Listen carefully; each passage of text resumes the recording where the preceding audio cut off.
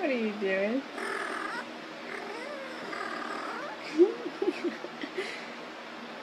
I didn't mean to wake.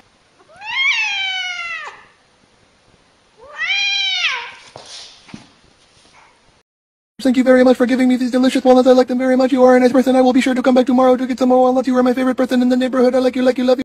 He's been really bloated today.